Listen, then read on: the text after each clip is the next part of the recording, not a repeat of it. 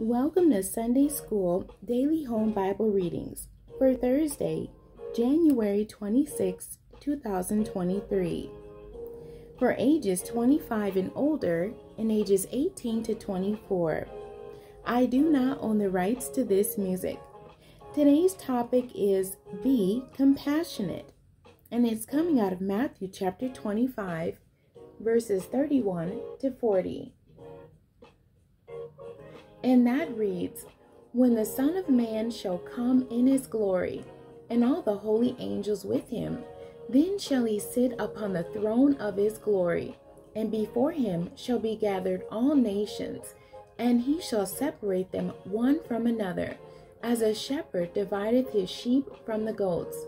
And he shall set the sheep on his right hand, and but the goats on the left.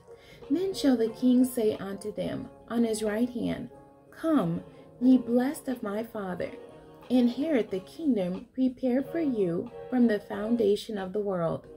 For I was a hungered, and you gave me meat. I was thirsty, and you gave me drink.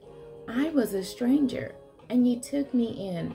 Naked, and ye clothed me. I was sick, and ye visited me. I was in prison, and ye came unto me. Then shall the righteous answer him, saying, Lord, when saw we thee a hungered, and fed thee, or thirsty, and gave thee drink? When saw we thee a stranger, and took thee in, or naked, and clothed thee? Or when saw we thee sick, or in prison, and came unto thee?